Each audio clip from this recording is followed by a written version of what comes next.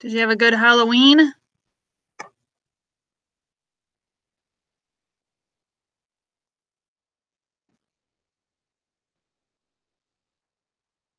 you ready for all this voting to be over with today?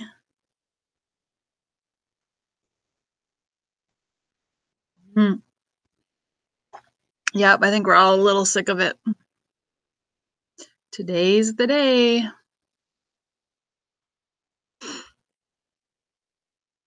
What gets you up so bright and early this morning besides school? Are you, would you say you're a morning person?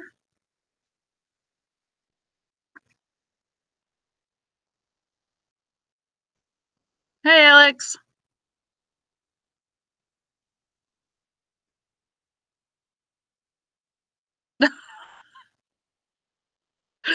oh my goodness.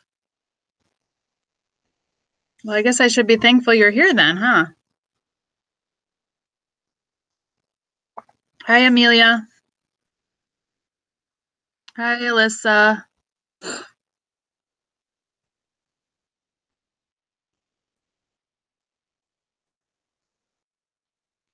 Your tie-dye is so colorful.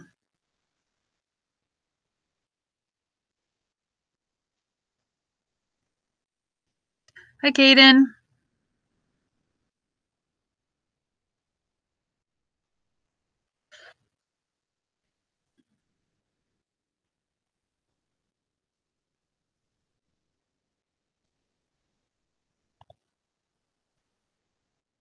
For everyone to arrive here.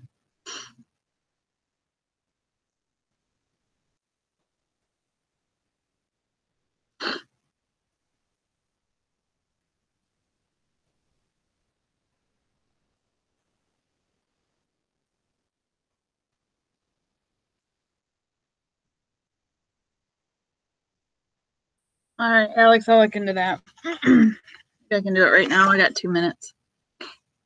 Let me go take a peeky.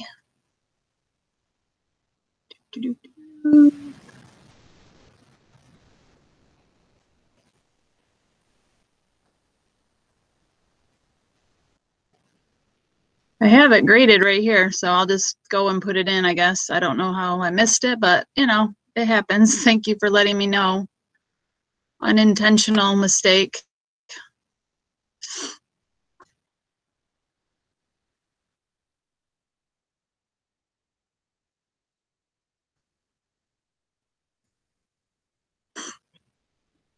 Where I went wrong.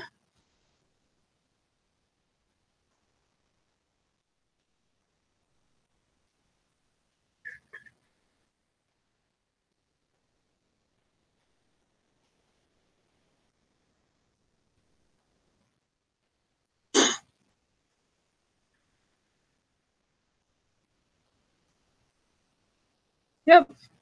I don't know. Putting that in right now, Alex. Sorry about that. Okay, you're good to go. Thanks for the heads up.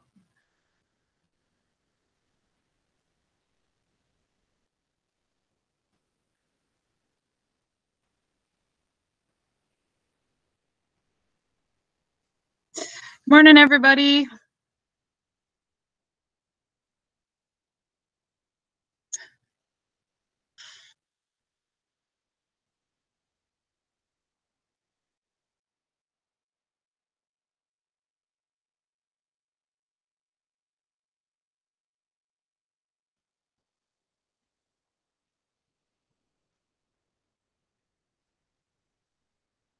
I'm just, oh, there we go. Okay. So we're going to start with that warm up this morning. So go ahead and pull up your uh, Google Doc if that's what you've been using. And we're going to start with that today. So let me get there. Oh, good. Kermit the Frog's here. Awesome. Okay.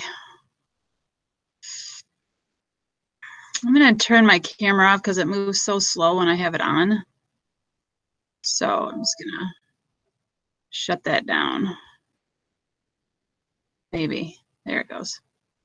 Okay, maybe we can get it to load a little faster here.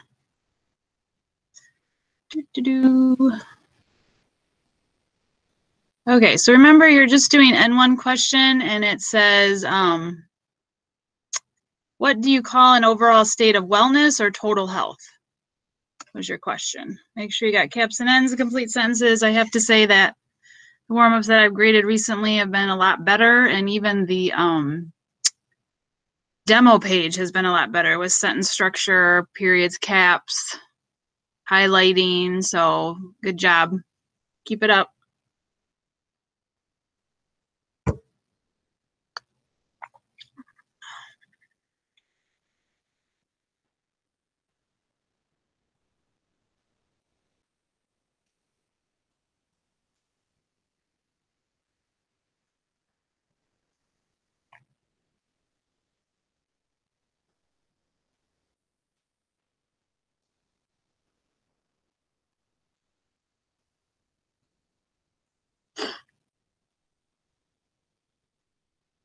Got about a minute left.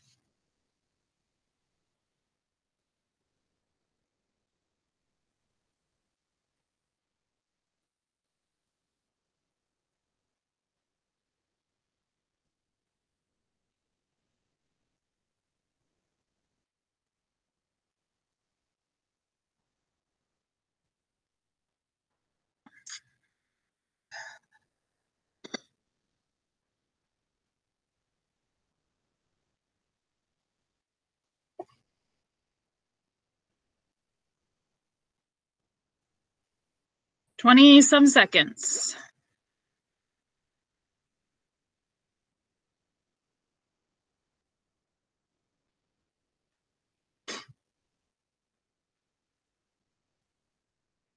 Ten seconds.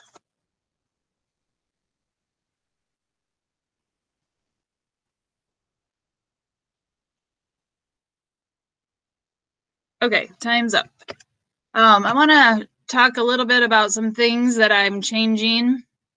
So in Google Classroom on the stream, I'm going to start putting the video of the day here. So once the video for this class or recording downloads and I'm able to manipulate it, I'm going to put it in the stream and I'll put like the date for sure and then a little bit about what we did. So um, that should be located there. Um, so just if you miss class or if I did notes and you didn't get something that I wrote down or something, that's where you'll find that information would be in the stream is where the video will be. And then uh, school-wide policy for virtual learning from this point forward, uh, all late work will be reduced to 80%. Um, that started Monday. I sent out a stream that it began Monday. And so any assignments that I got Monday and thereafter that were late were uh, marked to an 80 percentage. So um, just keep that in mind as we move forward. Um, you also need to know that any late work will not be accepted after the unit. Okay, so we have a test probably, um, you know, it's, I would say maybe a week or so away, but once that test has been given, no other work for that unit can be turned in. Okay, so that's kind of where, excuse me, we're going forward with. So um, if you have any questions, you can stay back in class or you can put something in the chat. Um, I will hopefully see it. And uh, otherwise, we're going to continue to move forward at this time. So um, I'm going to be finishing uh, the Google Slides today. And then um, I have a little worksheet called Words, Words and Wellness that'll help you out for your test, some vocab. And then um, we're going to go over that worksheet by using Quizlet. So I'll need everyone to unmic that has kind of a quiet environment that could just respond to the Quizlet. And then once we get done with that, we're going to move into a case study with a student named Carl. So that's kind of like our happenings of this uh, block of time. So I'm going to go ahead and grab the um, Google Slides, and then we'll go from there.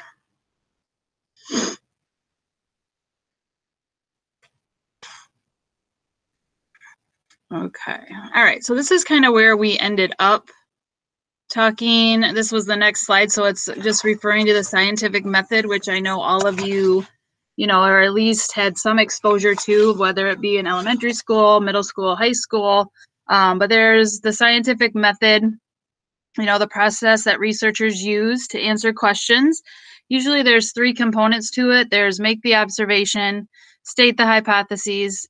Um, that's usually a guess or something that can be tested and verified. Uh, revise experiments to test and verify results. And then sometimes people will have a theory. Um, it's a principle that tries to explain something that happens in nature, although it is based on evidence. Um, a theory is not a fact, it still requires further testing. So, theory is one of your terms that um, I believe to be on your test or a part of your test. So, if I was you, I'd write that down. Um, so, for example, somebody might use the scientific method if they were looking at statistics and let's say they um, saw in their eyes that men do not tend to live as long as women. So this might prompt them to raise the question, why? Why do men have a shorter life expectancy, expectancy than females? And so they're going to um, run that through the scientific method and try to figure out why that occurs. So that would be just an example of how you could use a scientific method. Um, so I'm sure you've seen this in your classroom where you have like the poster that has like all the procedural things when it comes to the scientific method like purpose research hypotheses experiment and analyze conclude. So those are all aspects but one thing we want to look at is how to evaluate research reports. So as a consumer we don't become victimized to believing things that aren't really true. So one of the things you need to think about is is the information intended to update a professional or to pique consumers interest? Okay, so if, if the if the research was done to just pique consumers' interest or to try to sell a product, then we may think to ourselves, you know, maybe this isn't as valid as it should be because it's not given to or to update a professional like maybe in the field uh, be aware of who is relaying the information is it a media reporter or a health and nutritional professional uh, take note of the size and length of the study. Did it involve just eight people and they were only observed for three weeks, or was it something like 8,000 people that were observed for three years? So that's kind of our issue right now with the COVID 19 is that these vaccines that they're putting out, you know, they don't have a lot of testing behind them and that's why uh, consumers are a little bit leery to just be like okay let me line up and get get this shot or whatever. Um, usually, drugs go through a screening of uh, time and lots of studies. Most of the time, a uh, medicine it can take up to 10 plus years before it can even be put on the market. Um, you know, and that's just, you know, medicine it's not something that's being rushed like the COVID 19. So that's a little concerning. Um, also, keep in mind that many experiments are conducted to prove or disprove a theory.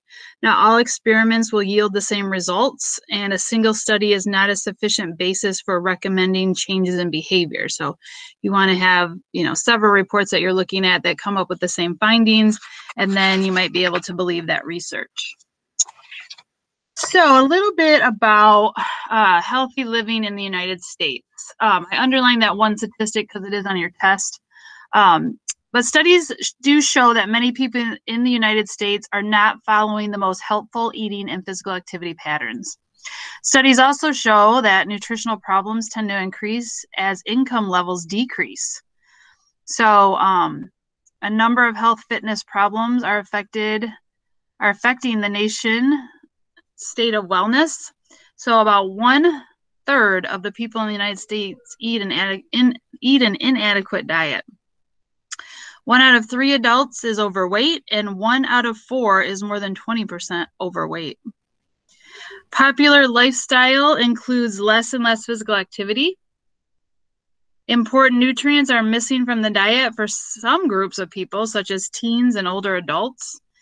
Fat, cholesterol, sodium, and sugar intake are higher than recommended. So these problems arise for several reasons. Some people do not have enough money to acquire adequate nutrition. Others lack the information and skills needed to select a nutritious diet. Some people may not know they need to make changes. And still others simply just choose to ignore the current nutritional recommendations. One reason some people give for disregarding nutrition recommendations is some nutrient messages are unclear. They're not sure what to believe, um, or they contradict each other. uh, findings from one study seems to dispute the things from another study. So what is health conscious? What is a health conscious person supposed to believe as uh, he or she tries to make wise lifestyle choices? So best thing you can do is educate yourself the best that you can, and hopefully that will help kind of weed out conflicting messages or things that uh, you question. And uh, usually that's a good rule of thumb is just, you know, to be educated, knowing that maybe or not this is a false study, or maybe I need to research it a little bit more, or maybe I need to go to a reputable site or a government agency that actually has to update their statistics and do studies and things like that versus, you know, a person at random that's just doing it for themselves. So just some things to think about and to consider. Okay. So um, if you go to Google Classroom and you go to the assignment called Words and Wellness, okay? Um, what I'm gonna, what you need to do is just go through, and if you took notes, it should be pretty easy. So I just moved that. It should be pretty easy to answer the questions because it's all vocabulary that we've used in this whole uh, PowerPoint or Google Slides show. Um, but I want you to take about 10 minutes to answer as many as you can. And what I would do is I would just go through them. And if I know the answer, put it in. If not, skip it. And then go to the next one. If I know it, put it in. If not, skip it. Hopefully, you don't skip all of them because, you know, to me, the, a lot of the information that I went over is um, something that I know that most of you have heard before. And um, hopefully you'll be able to fill in a good portion of that worksheet. So let's take a little bit of time to do that. And I'm going to use a little timer on the screen so you can kind of keep track on how much time you have. So we're going to go ahead and set that timer for 10 minutes. And I would hope that you could finish in that amount of time. Remember, I'm not going to be going over that worksheet verbatim, but I'm going to do a Quizlet that goes over all the terminology and hopefully you can figure out where everything goes. Okay. So we're going to go ahead and start this timer. Um, you have 10 minutes to get your words and wellness done. So time is starting now.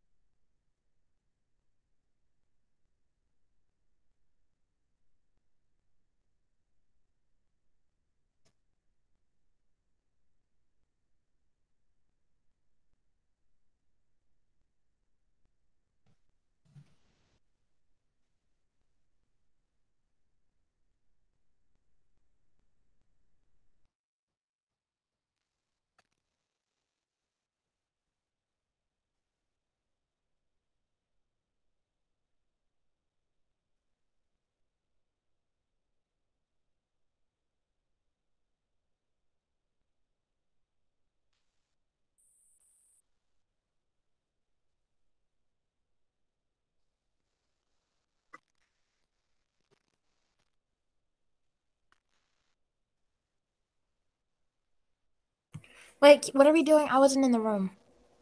Okay, so um, in Google Classroom, there's a worksheet called Words and Wellness, and we're just opening that and going through it and answering the ones that we know. And that's, we have six more minutes to work on it. Okay. Okay.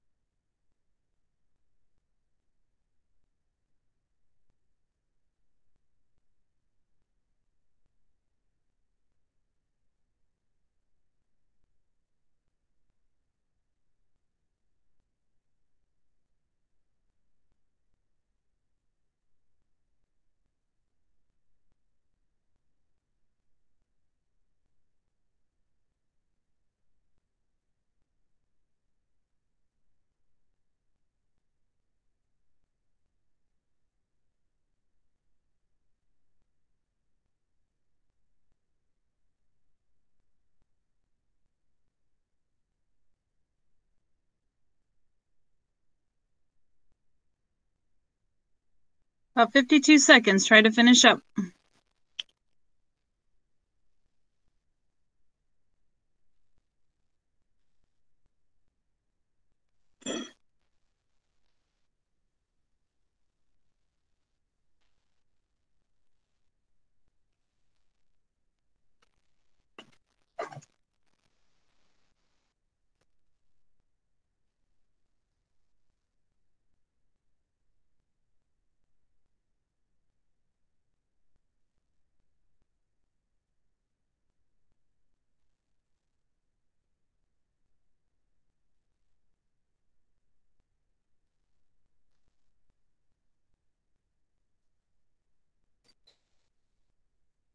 Okay.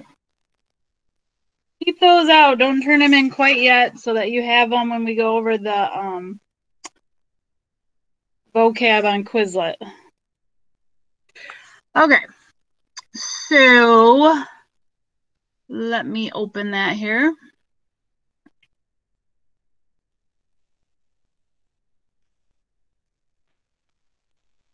Where is it? Okay, so if you have a quiet background, uh, you can unmic so that you can just tell me what the answer is. And if you um, have a noisy background, you can always unmic and kind of chime in. Okay. So, uh, an overall state of well being or total health, what is the answer to that? What is the answer? Look at your paper. Can anyone find it or remember what it was?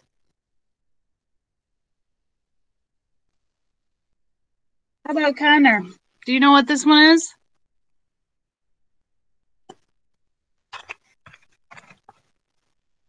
Connor, am I on mute still? I thought I unmuted myself. Yeah, I am off mute. Hello, people. I don't know that one. Okay. Does anyone know that one? Pristine health? What'd you say? Pristine? Like no. condition? Oh, I no. Kind of, but it's not one of the words we did in we talked about in class. Isn't it lifespan? It's Oh. wellness. How about this one? Fitness of the body refers to how well your body functions. What did we talk about that we cover that term? Physical health? Whoops. Let me go back. Whoopsie. yes, good job. Okay, what about this one? The state of being comfortable with yourself and others and with your surroundings. What would that one be? State of being comfortable with yourself. So we just talked about physical health. What other types of health would constitute this? Social? Thank you. Or actually, this one's mental, how you feel about yourself. Okay. All right. What about how well you get along with others? Social. Yeah, that one was social. Good job. Okay. Uh, healthcare that focuses on all aspects of the patient. That's physical, mental, and social. Do you remember what that term was called? When you look at like the whole person.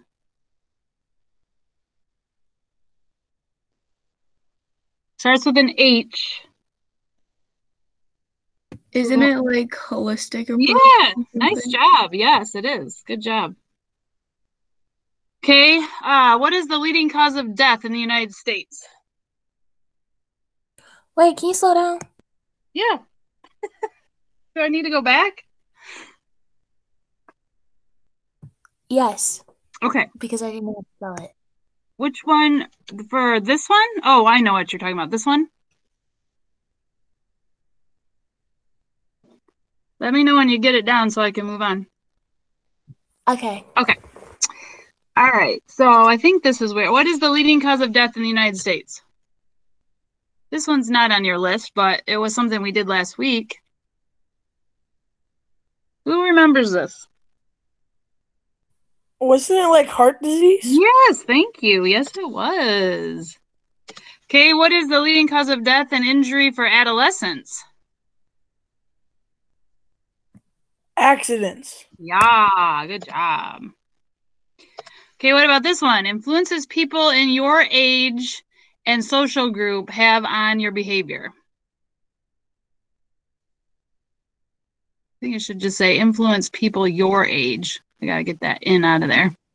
Peer pressure. Yes. The process by which your body takes in and uses food. Nutrition. Ding, ding, ding. Good job. A substance that provides nourishment essential for growth and maintenance of life.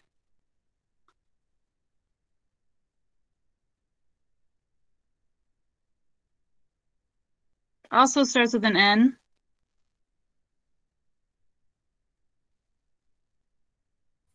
Nourishment. No, that's the word in the definition. Nutrient. Yes, thank you. Okay, the average length of life a person living in the same environment is called life what? Span. Mm, it could be called that, but that's not what we've talked about. What did we call it? Life starts with an E. Expectancy. Yes, thank you. Uh, suggested answer to a scientific question which can be tested and verified.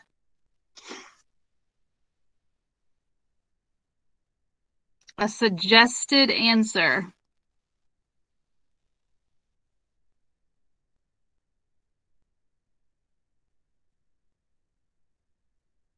We just went over this.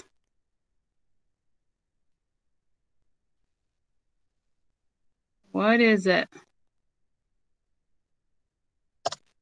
Hypotheses.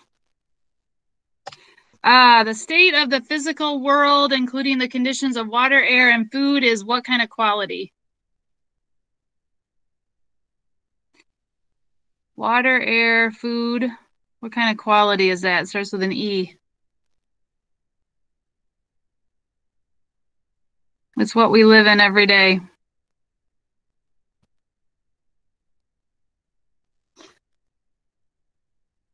Have I stumped you on Earth these? quality.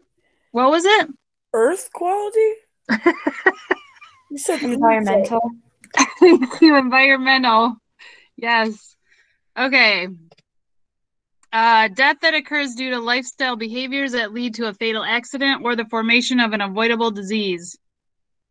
Think back to our timeline. What was that called when you were at death? Premature. What? Say that one more time. Premature. Yes, good job. And then the identification of a disease. So the doctor is going to render a what when he's identifying the disease? Diagnosis. Yes, nice job. What about this one? A state of wellness characterized by a peak physical, mental, or social well being. Peak. This is also on the um, timeline. Do you remember what that word was? It Starts with an O. Optimal. Yes, nicely done. And the last one, uh, process researchers use to find answers to their questions. What is that po- process? What do your science teachers use when they're doing an experiment? They're not going to be happy you guys aren't answering this question. what is that? What do they use in science? process of elimination. No, that would be more like math class, wouldn't it? no. It's two words. Actually, three words. No, two words. Something in syllables. The scientific method, people. All right. So if you're done with your words in wellness, you can turn that in. But I pretty much did all the answers by doing the um, Quizlet. So hopefully you were able to uh, cue in on that. Okay, let me check my to-do list, make sure I got everything I need to do. All right, so now we're gonna go and work on, um, someone have a question for me? Okay. So we're gonna work on a case study. Does anyone No, know? I had a question. Oh yeah, go ahead. If if you didn't get all of them, because um, where's where's your um Quizlet? Yeah, so we can look at it. Um, I will make a note. I can actually uplink that to the uh to the Google Classroom. So I think I can just put it right in there. Thank you. Yep. Or you can always watch the video back because I'm gonna put that in the stream. But I will make a note to put in Quizlet um in Google Classroom for you. It's weird because you can only do one class at a time, but um yeah, anyway. Okay. So we're gonna talk about a case study. Who can tell me what a case study is? Have you ever heard of the word case study? Maybe you don't know what it is, but you've heard of it. Anybody heard of something like that? Uh, doctor doing a case study, or they were I've heard of it, but I don't know what it means. Okay, so you've heard of it. All right. So a case study would be like, um, I'm going to take these 200 people and I'm going to give them this medication, let's say, or I'm going to study this about them. And then this other group, I'm going to give them like a placebo, which you know is a fake medication. And I'm going to do some testing and I'm going to look at all aspects of their life and I'm going to, you know, try to figure out you know what the medicine does for them if it helps them doesn't help them or if i'm just doing a study on them i'm going to study all aspects of them and find similarities or differences or figure out you know why something happened. So we're going to do a little case study on this uh, young man named carl. But to get there we have to do a few other things along the way okay? So um i have a couple questions for you. Let me get to that. Um, whoops, it's not what I wanted to have happen. okay, so I have some questions for you that I have on Padlet, Padlet, whatever it's called. Um, and I'm gonna link this in the chat at the bottom. And I need you guys to go and join it. Um, it is two questions that I'll ask you. It's called what do you what who do you know has had a heart attack or stroke? What happened? How are they coping? And if you don't know anybody that's had a heart attack or stroke, then just tell me what you know about a heart attack or stroke. So on this Padlet, you can answer one or the other. You do not have to answer both because you're either you know somebody or you know something about what we're going to talk about. So I'm going to go ahead and drop that into the stream and I'm going to ask you to join it and to fill out one of the what what I call like sticky notes to um, the Padlet. Okay, so go to that website, follow that link, and then go ahead and fill out the Padlet. And I'll be on my screen, so you should be able to see it. Would going into AFib count as a heart attack or no? Well, AFib is where your heart is beating irregularly. Yeah. Um, and so that would be I could I would say that that could lead to a stroke because it's not pulsating your heart's not pushing the blood like it should and it could coagulate and cause a clot. So I think that would be something that you could talk a little bit about and um, even though they haven't experienced those things, which is good, uh, it's still something that could lead to that. Okay, so you could either Okay. put what you know about AFib and heart attack or stroke, or you can talk about the person that is has experienced AFib. Okay.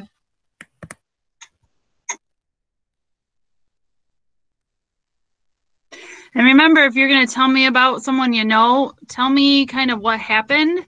Maybe, you know, some of their lifestyle choices that may have caused that to occur. Um, and then their coping. You know, some people unfortunately pass away and that's their coping strategy.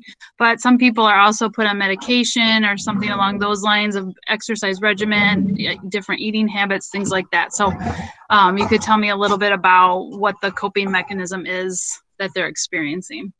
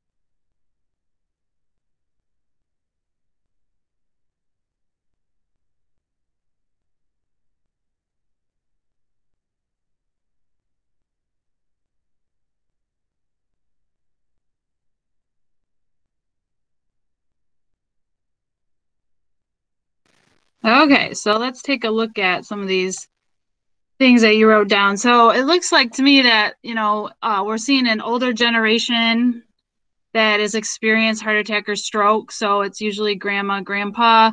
Um, you know, you're talking about all the things that happen with a stroke. You know, you could have a mini stroke, which maybe the person didn't even realize happened. And then later on, they went to the doctor and found out that they had a stroke. So I hear a little bit of that. Um, let's see. Okay. All right. Um, oh, wow. Somebody had a stroke while uh, teaching, it looks like. Nothing bad happened. But, um, you know, it does seem like you hear about it. This person's talking about the symptoms about shooting pain down the arm, um, taking medication, um, changing an eating habit, and that kind of, you know, changed the game. And then we go over to the heart attack. What do you know? We have people talking about uh, high blood pressure, about some of the risk factors, overweight, being unhealthy in their diet. Um, it, stroke could cause paralysis on one side of the body because it affects your brain. Um, let's see what else. Yep, uh, blood carries oxygen, so wherever that stroke occurs is the um, oxygenated blood is not getting to those areas and the tissue is dying. Um, energy drinks offered uh, this person, they believe that could, could have caused AFib, which causes their heart to beat irregularly, which can cause issues with stroke, which sometimes they have to be on blood thinners. Uh, yeah, heart attacks can be very painful. Yeah, I hope you never have one, Cameron. okay, so um, thank you for all of you that participated in this. So I have another Padlet that I'm going to link for you. I guess I could have added another column. I didn't realize that, but you know, live and learn. It's all a learning curve here at this time. Let's see if I can get back to it. Um. This one I'm going to have to link for you too because it's, I guess it's on a different Padlet. Whoopsie. Oh, goodness sakes. ah, my fingers are not working for me very well.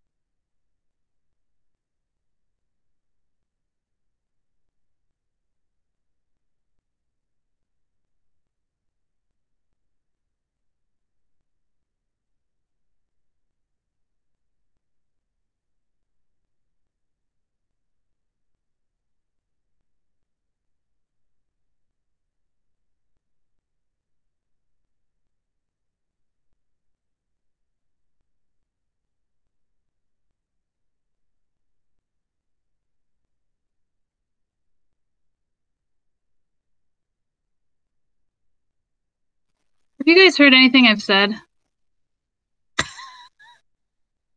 I I wasn't sure. Oh. if- No. Nope, Okay. I thought you're muted, so I think you're just Oh talking. my to yourself. god. Okay. I'm having a breakdown. No, I'm just kidding. Okay. So what you want to do is use that other link to the Padlet. Go to Padlet and then answer both those questions. One is about risk factors that cause a person to have a heart attack or stroke. And then the second question talks about you know, do you think a high schooler should be concerned about his or her risk factors for heart attack or stroke? If you put yes, give me the reason why. And if you say no, give me the reason why. You do have to answer both, though. This isn't uh, one or the other this time, it's both. Sorry about that. I did not realize I was muted.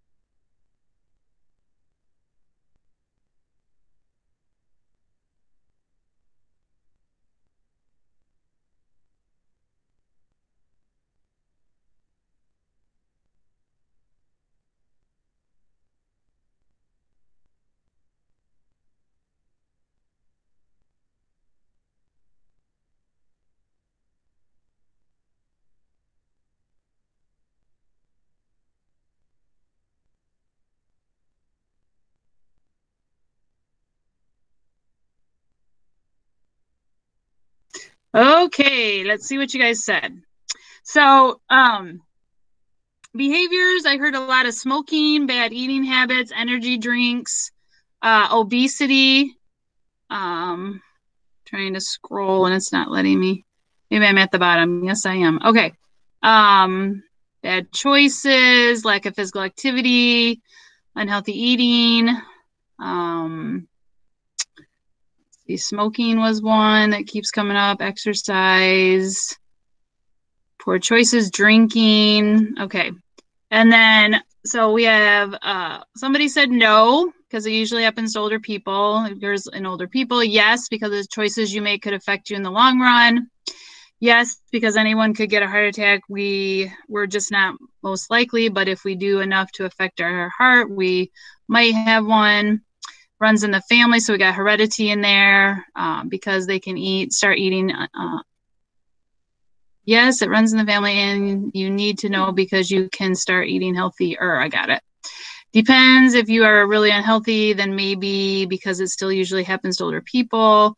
No, because normally you don't get them until you're older. Yes, because the things that you do now could lead up to cause a stroke. Yes, even though we are teenagers, every decision has a consequences. So we should be healthy to avoid premature death. Yes, because our choices today could impact our future. No, not too much because I never hear people, person as a young uh, high school student having a heart attack or stroke. So uh, it didn't really say that you get them. It just says, do you need to be concerned about your risk factors? Just to clarify. Okay. Now, I want to go back here and just go over this statistic. About 1 million US teenagers have high blood pressure, high blood sugar levels, or other conditions that may put them at risk for heart disease later in life. And that's according to the American Heart Association. Okay, so here is our case study. This is our guy here. His name's Carl. He is a typical high school student. You kind of need to remember these statistics. So he's in ninth grade. He's got lots of friends. His favorite subject's biology. He gets pretty good grades in most of his classes. Uh, Carl does not play any organized sports, but he does like to skateboard at the local skate park two to three times a week. So I just want you to be processing in your mind um, the evidence that you think we would need to gather to determine if Carl is at risk for cardiovascular disease. Okay. So you're just right now in that light bulb stage where you're just trying to come up with what would I need to know about him to determine whether he's at risk. Okay, so we got to first talk about cardiovascular disease. Does anybody know how they would define cardiovascular disease? Like, what would you say about it?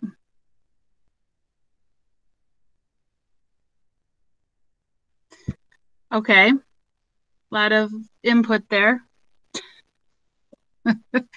okay, so what you need to know about cardiovascular disease is that it's another name for the circulatory system.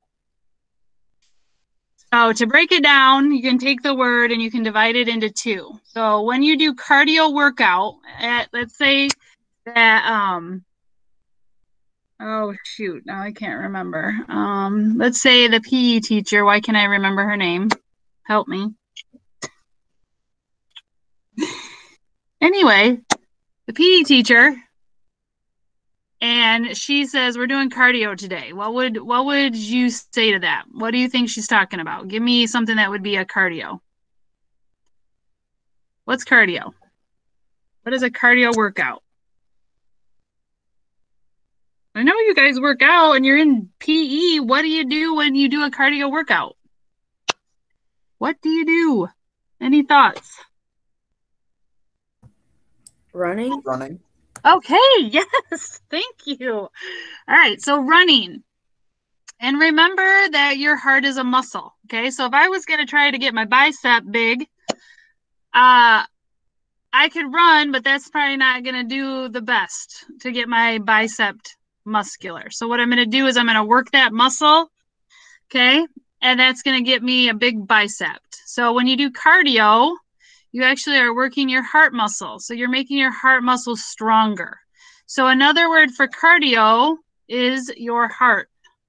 Okay.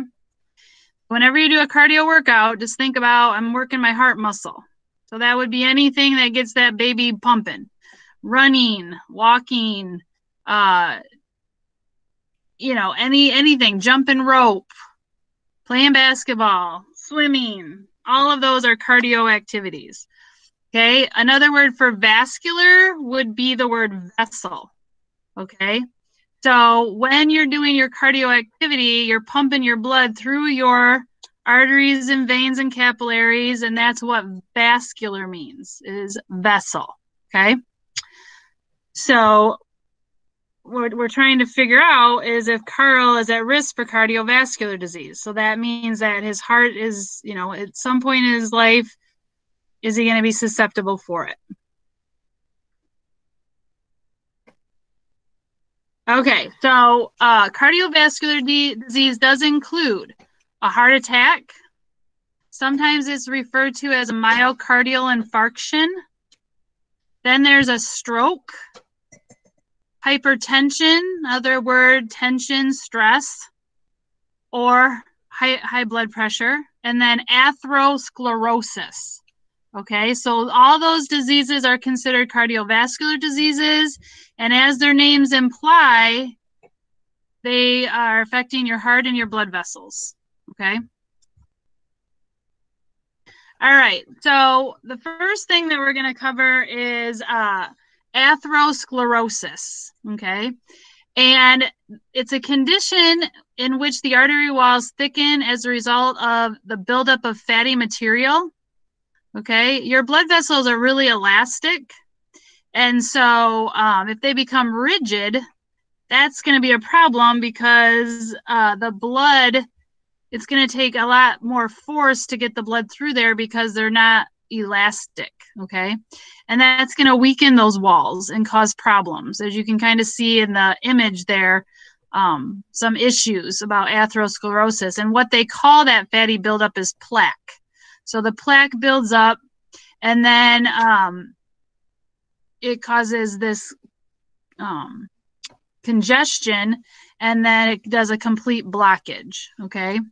Um, to put it into terms that will help you understand is that if you've ever tried to get on an expressway off an exit and um, it's just bumper to bumper, it's really hard to get your car into that line of traffic. And what it ends up happening is somebody has to stop, let you in, then you sit there, and then another car comes and they have to move back. And basically, it's just taking a lot longer for you to get to your destination, which is kind of what happens when there's a blockage or when there's when the tube when the artery or vein is getting smaller and smaller is that the blood gets backed up and oxygen can't get to where it needs to flow okay?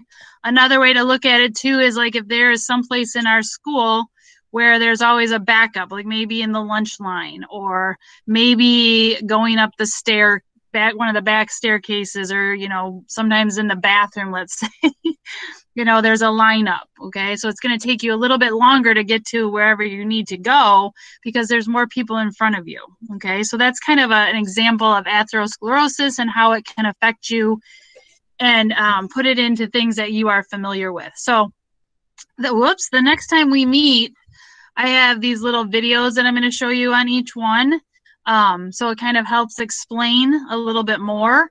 And then we'll kind of start with that when I see you again. So try to remember, um, why do I always do that? Try to remember where we were. We were on atherosclerosis. I'm going to try to make a note of it just so I don't forget. But that's kind of where we were. And um, we'll talk more as we go through, but I want to, you know, just give you time to ask any questions that you may have in our last two minutes or kind of decompress for your next second hour coming in. Maybe you have to gather up some papers or something like that, you know, to prepare for that. But, um, you know, you are dismissed unless you want to talk about something or, um, you know, you need to let me know any information. So I will stick around until 835, but, um, you can exit at this time.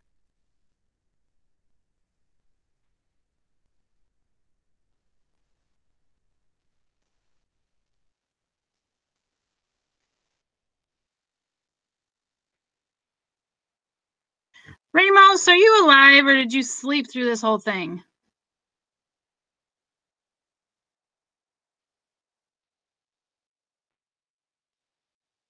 Ramos! I'm alive. You are alive. Okay. All right. I hope you got your assignments in. I'm gonna be turning a lot of assignments today. Okay. Very good. Remember, if it's late, though, it's 80%. Yeah, I know. All right. Well, have a All good one, and I'll see you the next time. Yep, you too. All right. Bye.